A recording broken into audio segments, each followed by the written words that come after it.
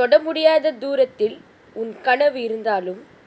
தொட்டு விடலாம் என்ற நம்பிக்கையில் நீ இரு